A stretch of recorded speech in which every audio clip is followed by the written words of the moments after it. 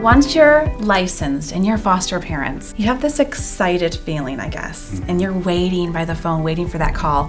What can you expect with that first call that comes through? I think you can expect that it can come at any time.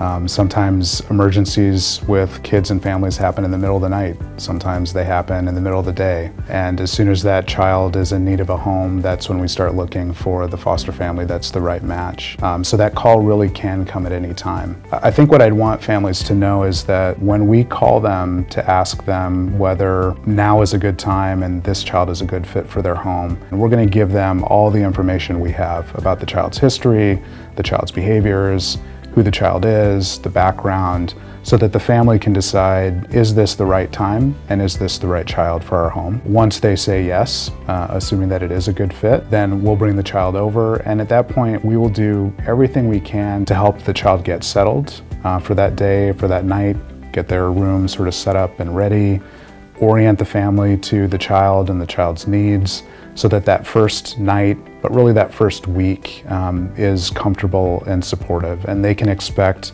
regular and frequent check-ins from our staff to find out how things are going, ask if there's anything we can do to provide support. We want to make it as, um, as comfortable for the child and for the family as possible and provide as much support as we can.